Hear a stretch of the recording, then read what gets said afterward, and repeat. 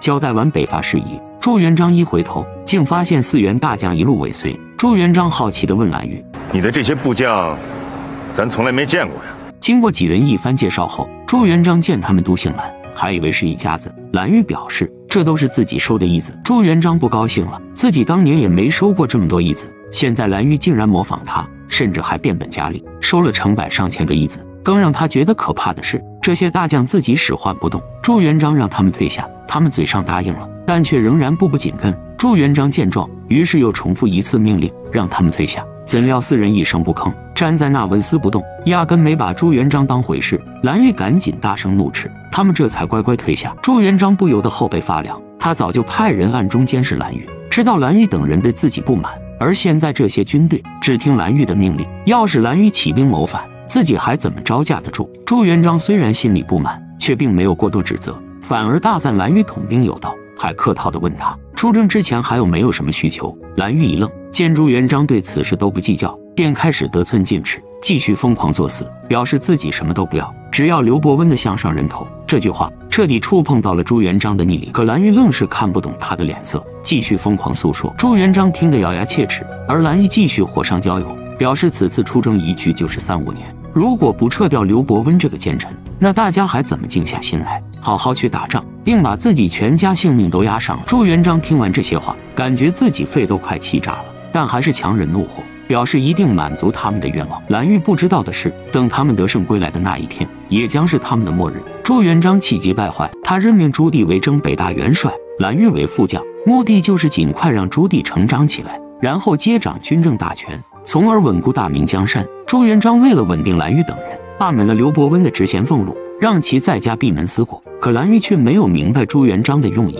以为自己战功累累就可以轻易解决刘伯温，却不知已经触碰到了朱元璋的逆鳞。朱元璋罢免刘伯温不过是权宜之计，等蓝玉得胜归来，没有利用价值的时候，朱元璋随时都可以找个借口处决他。有些心急的淮西将领。一时奈何不了刘伯温，便对他儿子放冷箭，以此来警告刘伯温。这下彻底激怒了他。他明白，朱元璋压抑的越久，日后整肃就会越厉害。等淮西将领们得胜归来的那一天，就是他们的末日。另一边，朱元璋派锦衣卫吴峰暗中调查胡惟庸和蓝玉之间的来往。当他得知蓝玉等人向胡惟庸叩首的事情后，表情逐渐凝固。次日，朱元璋召刘伯温入宫上朝，为了安抚蓝玉等人。让他们全力以赴的作战。朱元璋在朝会上故意冷落刘伯温，刘伯温明白了老朱的用意，被罢官免之后，朝廷就停了刘伯温的俸禄，家中早已断粮多日，迫于生计，这个昔日里的一品大员不得不沦落到街边摆摊，靠卖折扇维持生计。但自己又不懂得吆喝叫卖，等了半天依然无人问津。恰好遇到京城烧饼店掌柜，主动帮他叫卖，百姓们都同情他的遭遇。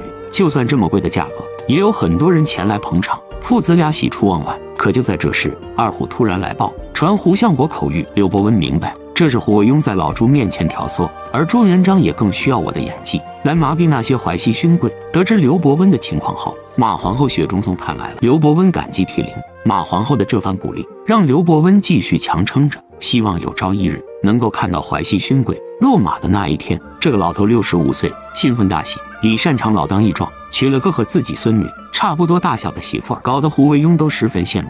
李善长表示不想也不成啊。当初皇帝暗示自己该退休的时候，李善长也是迫不得已才退休。可是想到伴君如伴虎，随时都可能有杀身之祸，还不如提前交出手中权力，远离朝廷。朱元璋生性多疑，为了让他更放心，李善长整日饮酒作乐，对酒当歌，自己在吴王府过得潇洒快活。李善长之所以如此堕落。就是为了不让朱元璋怀疑他。如果他在家里闭门不出，什么也不做，反而引起朱元璋猜疑，这才是大智若愚之人。李善长得知胡惟庸在中书省如日中天时，他提醒胡惟庸，眼下漠北战事吃紧，皇上肯定会重用能臣。等到捷报传来，边疆安定时，恐怕还是要裁撤淮西勋贵以及这帮骄兵悍将们。老谋深算的李善长把朱元璋的心思看得明明白白。可胡惟庸却没能牢记他的提醒。为了完成朱元璋交给他的任务，让漠北战事进行的更加顺利，他是天内就连斩三个主持官员，流放了四个知府，各部官员怨声载道。随着中书省位置越做越久，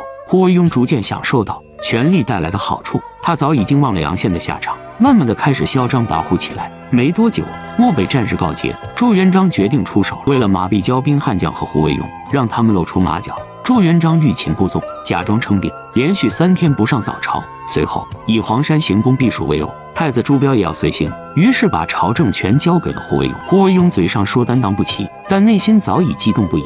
朱元璋也学起了李善长，开始捧杀胡惟庸。为了让胡惟庸做事更加肆无忌惮，临走前还把自己挠痒痒用的玉如意送给了胡惟庸。胡惟庸激动不已，感觉自己飞起来了。他早已忘记自己当初是怎么对付杨宪的。欲使其灭亡，必先使其疯狂。朱元璋不愧为李善长的好学生，被权力蒙住双眼的胡惟庸，殊不知自己快要大祸临头了。朱元璋前脚刚走，胡惟庸就脚踏单臂，昂首阔步，吕昶顿时惊掉了下巴。有了皇帝临走前的嘱咐，胡惟庸有恃无恐，做起事来更是肆无忌惮。次日一早，虽然朱元璋不在，但他依然召集大臣每日上朝，对着龙椅进行朝拜。他两眼放光，缓缓走向龙椅，众人面面相觑，议论纷纷，生怕他一屁股坐在龙椅上。随后便拿着朱元璋赏赐给他的玉如意，对百官训话。次日，胡惟庸把积压的政务奏章全都移交到中书省审理。原本该由皇帝才能做主的事情，他私下里全给做主办了，而且效率神速，往往需要半年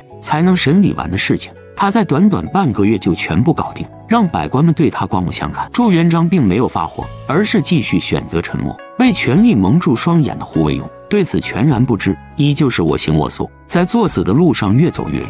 他为了稳固自己朝中地位，不仅拉拢文官，还与武将称兄道弟。蓝玉等人北伐得胜归来，胡惟庸在朱元璋专门犒赏将帅的武英殿，为众将接风洗尘。感到危机的武将们担心被朱元璋整治，都主动和胡惟庸拉近关系。胡惟庸越过了徐达汤河，更超过了当初的李善长，直接成了淮西将领的老大哥。此时的胡惟庸比当初的杨宪还要肆意妄为，他早已忘了李善长的教诲。朱元璋得知后颇为震惊，他没想到胡惟庸会这么胆大妄为，但他并没有急于回京，而是派锦衣卫继续暗中观察。朱元璋当即下旨赦免刘伯温，让他立刻回督察院任职。朱元璋把刘伯温这块石头丢出去，就想看看胡惟庸到底有什么反应。可让他没想到的是，他的这个做法直接把刘伯温给害死了。刘伯温到底是怎么被害的了？我们下期接着说。喜欢的朋友记得点赞、关注、转发，开始再次拜谢了。